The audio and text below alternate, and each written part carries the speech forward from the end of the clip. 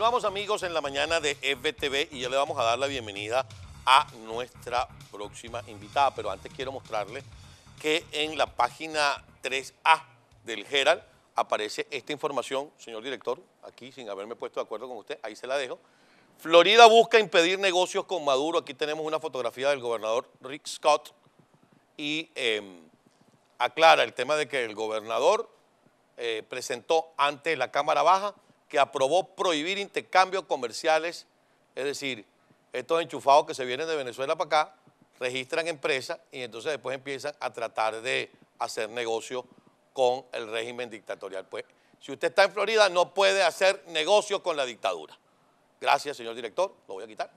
Bien, estábamos hablando más temprano del uso de la justicia como arma para proscribir partidos políticos, para ilegalizar a la disidencia.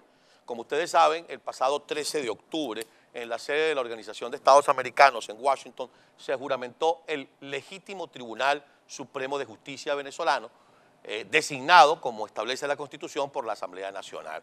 Nosotros vamos a conversar con la magistrada Elenis Rodríguez, ella es vicepresidenta de la Sala Constitucional del Legítimo Tribunal Supremo de Justicia. Ahí la tienen ustedes en pantalla. Gracias, doctora, por atendernos. Es un placer poder tenerla con nosotros en el programa. ¿Cómo está? Muy buenos días. Gracias por atendernos.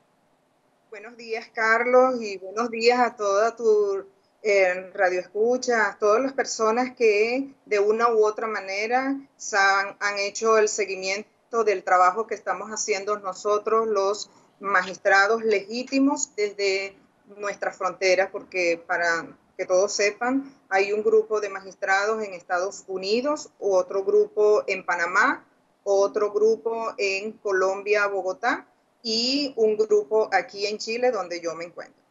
Bien, magistrada, lo primero que quiero pedirles es su evaluación sobre las últimas medidas tomadas eh, supuestamente por la Sala Constitucional ilegítima eh, radicada allá en Caracas, donde deberían estar sentados ustedes, están sentados un grupo de ilegítimos magistrados y toman la decisión de eh, proscribir, de evitar que la tarjeta electoral más votada, que fue la que recibió el respaldo de la población en el año 2015, eh, no participe en un proceso electoral que también es ilegítimo desde su convocatoria.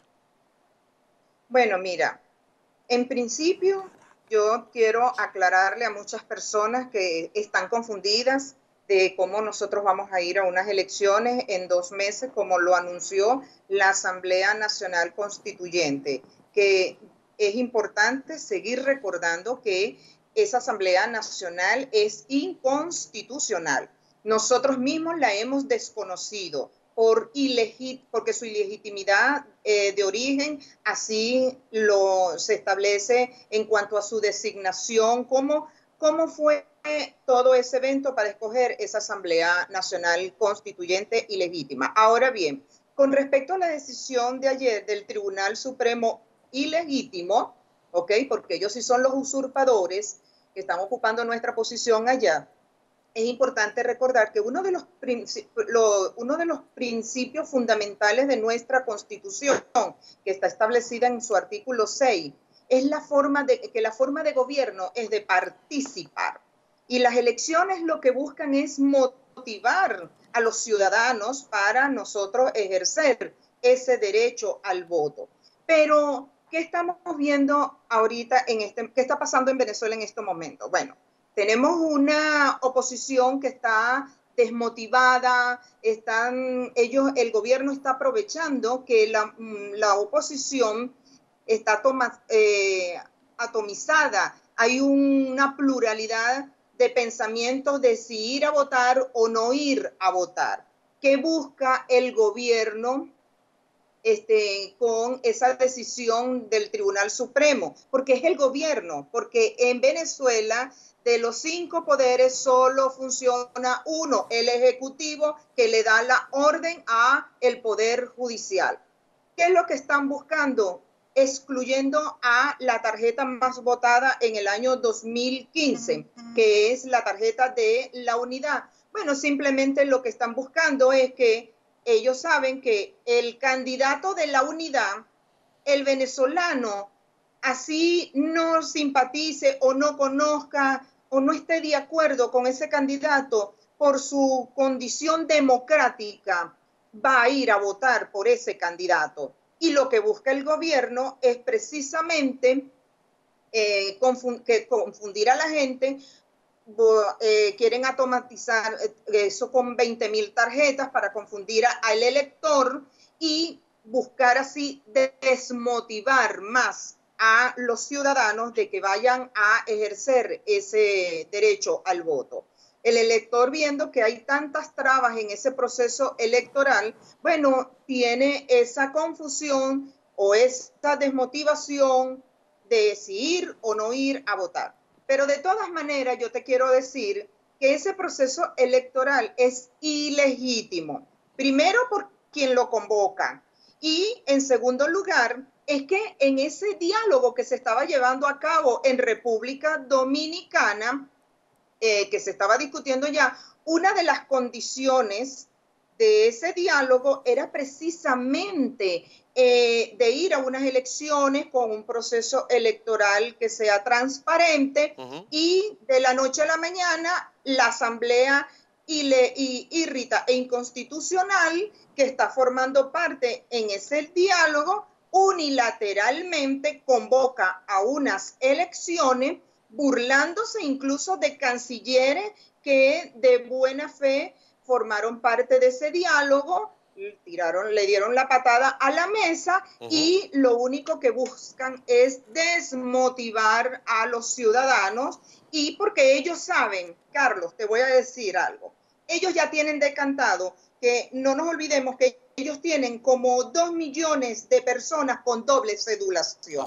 Y se pudo probar con el caso del colectivo que cayó abatido en la masacre del Junquito, que tenía doble cedulación. Esa, esa persona con esa doble, esas dos cédulas votaba dos veces en su mismo centro de votación. Entonces ellos lo que buscan es que como ya ellos tienen asegurado esos dos millones de votos porque tienen doble cedulación, por eso es que además de las sanciones, que ya ellos saben que no pueden salir de, de Venezuela porque donde vaya ellos van a ser aprendidos por corruptos entonces, y quieren engañar también al pueblo de Venezuela diciendo de que la Unión Europea, Estados Unidos está sancionando a Venezuela. No, están sancionando es a los corruptos, no a los venezolanos, Ahora, eh, eh, sino a los corruptos.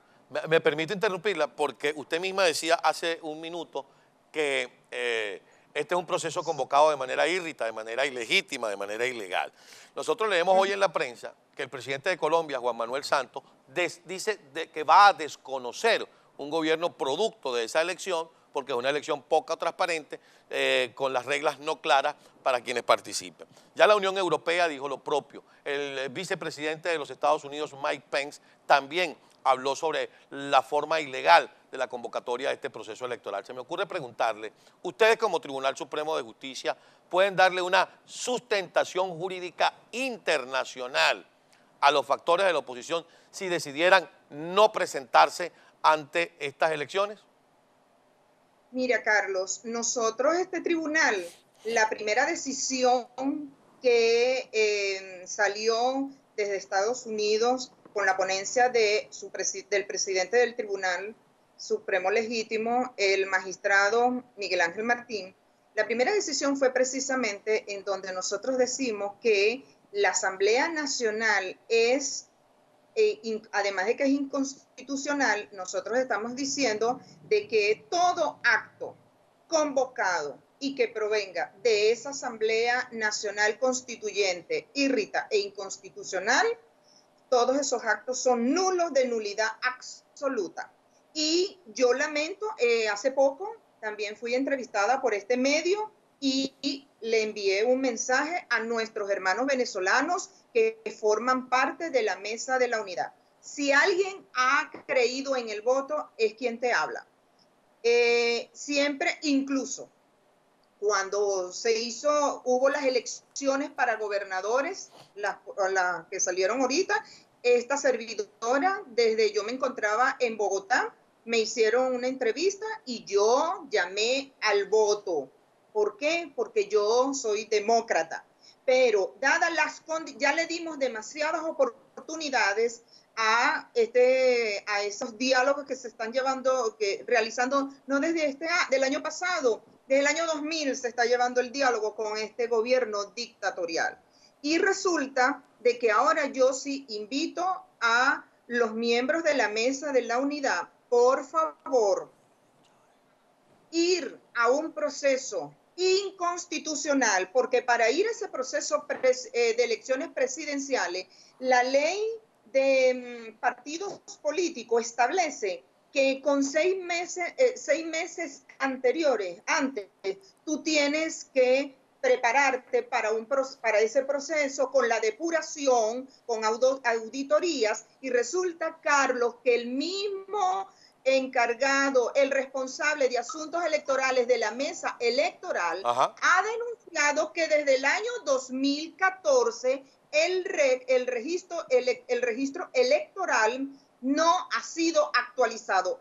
Y con un, una, una doble cedulación de dos millones de venezolanos, por favor, miembros de la mesa, esa es la unidad. ¿Cómo ustedes pretenden ir a unas elecciones que no van a ser transparentes viendo todos estos vicios que se están presentando. Doctora, nos queda poco tiempo, pero no quisiera dejar de preguntarles. ¿Van a ustedes como tribunal a sesionar para emitir algún fallo contra esta convocatoria en los próximos días, en las próximas horas? Me queda poco tiempo, por favor. Ok, nosotros ya eh, nos vamos a reunir en plenaria para eso, pero déjame decirte que ya nosotros incluso a esa decisión que te hablé anteriormente, de la en contra declarando la nulidad absoluta de la Asamblea Nacional constituyente, nosotros también eh, eh, salió un fallo ejecutando esa decisión. En consecuencia, este tribunal ya lo hizo cuando eh, precisamente en plenas reuniones de República Dominicana, donde se ejecutó a través de un fallo diciendo que eso era para las elecciones de alcaldes cuando salió ese fallo, donde y entonces ya nosotros lo hicimos. Y ahora con esta situación que se está presentando, más a mi favor, le pido a los miembros de la mesa de la unidad que se lean el fallo que ustedes mismos nos designaron y nos juramentaron como magistrados legítimos del Tribunal Supremo, porque ustedes saben los vicios que se hizo en la Asamblea del año 2015 con esos magistrados que no cumplen con los requisitos establecidos en la Constitución y en la ley y que sí son los que están usurpando nuestros cargos. Entonces hay que hacer ese llamado y que no se vea que mi llamado, como dicen muchos venezolanos, que les molesta, que somos los, que, los del teclado, los ociosos del teclado. No, nos preocupa Venezuela y no podemos seguir legitimando con unas elecciones a un gobierno tiránico. Gracias. Doctora, muchísimas gracias, doctora Eleni Rodríguez. Celebro a la Virgen del Valle que cuelga de su cadena esta mañana y la vemos a través de la pantalla. Y estaremos eh, pendientes pues, de la sesión de ustedes como magistrados legítimos del Tribunal Supremo de Justicia en el exilio. Era la doctora, o es la doctora Elenis del Valle Rodríguez. Ella está en Chile. Vamos a ir a una breve pausa. Ya tenemos en línea telefónica a Luis Florido presidente de la Comisión de Política Exterior de la Asamblea Nacional. Vamos a hablar del tema de República Dominicana, vamos a hablar de esta convocatoria a elecciones eh, por parte del régimen, que por un lado convoca elecciones, pero por otro lado elimina las tarjetas más votadas en la historia electoral de Venezuela. Enseguida, regreso a esta pausa, Luis Florido con nosotros.